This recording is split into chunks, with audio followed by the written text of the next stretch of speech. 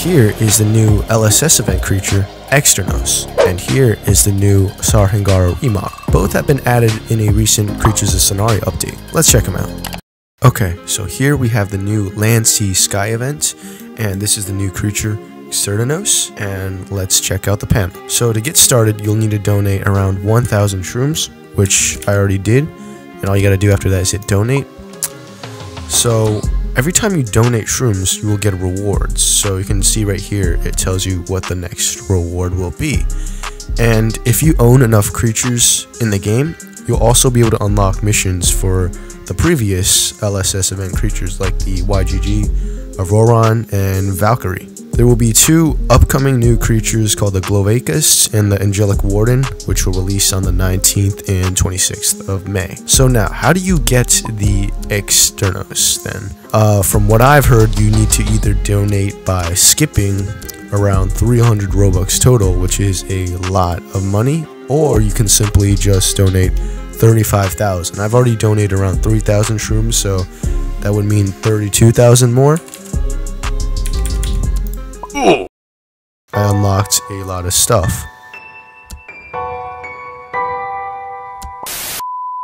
So as you can see here, I've unlocked the Xeternos right here, the species version, and let's check it out. Okay, so this is the new Xeternos creature, and I'm playing as it right now.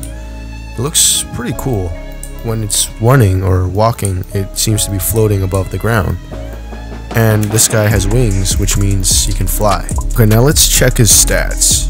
The Xeternos is a tier 4 and has decent amount of health, decent damage, and not a lot of stamina actually. So what abilities does the Xeternos have? So I think he has a breath, yep. This purplish blackish breath it does not have a, oh, it does have a Q ability. It, it becomes immune to all bad elements, I think.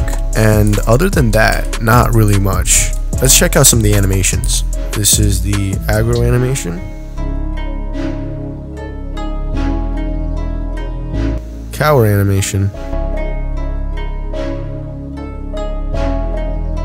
Sit animation. I really like the sit animation. Looks like it's floating above the ground instead of just normally sitting. Let's see the rest animation. This one is pretty cool too. It kind of just covers itself with its wings and tail.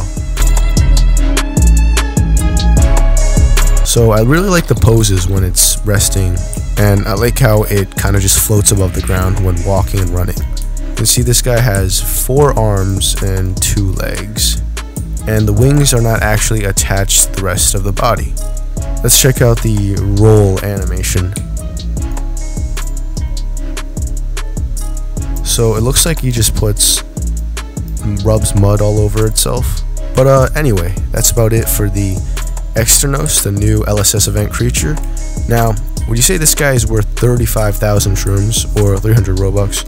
Probably not. I would save my shrooms for something else, but it's the quickest and easiest way to get this creature. If you want to trade for it, it probably will cost you around the similar price right now, but maybe in a few months the price will drop and you can get this guy for much cheaper. Or maybe it'll rise up since this guy is a event creature. Anyways, let's check out the Sar'hingaro remodel. Alright, so here is the Sar'hingaro remodel and they're actually going to rename this guy to Ahri Tamak, I believe is the name for it.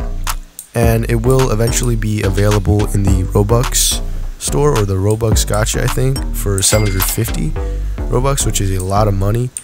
And I honestly like the new model. It just looks a lot smoother and cleaner, but also looks less unique in a way. I like how they changed the color palette of the Sar'hingaro from green to mostly red and now they have horns on their head. The animations do feel a little better, I think. I'm not sure what has changed besides. I think the running animation definitely has changed for this creature. So I'm pretty sure most of the abilities for this guy are the same. It has the beam, the I don't remember what this beam was called let's check out the stats. Now, I'm not really a stats guy, so I don't know if they changed the stats for this creature, but it looks like the stats are pretty good. And let's check out some of the animations for the Sar'hingaro. This is the aggro animation. I'm pretty sure this animation definitely has changed. And the cower animation.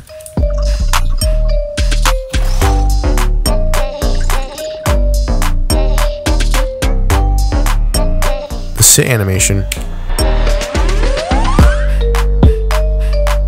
Rest animation.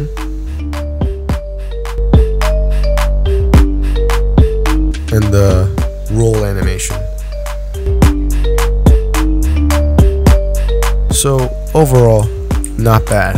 I think the remodel for the Sar'hingaro looks pretty good. So what are my opinions on the LSS event for 2023? So I think this event, it's a good way for people to get old creatures that they never got the chance to get, but it's a little grinding.